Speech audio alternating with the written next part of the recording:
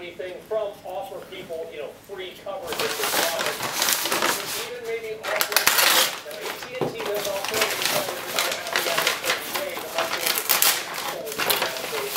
But let's say Apple does say, if you don't like it, bring it back, we'll give you a new one. Would that be any material hit to the company?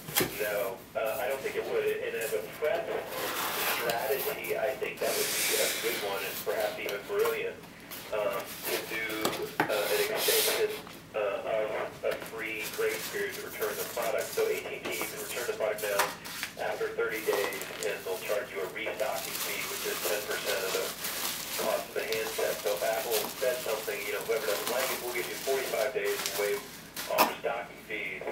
I think it'd be a brilliant strategy because our data suggests, based on survey work we did, there's, there's essentially nobody returning this phone.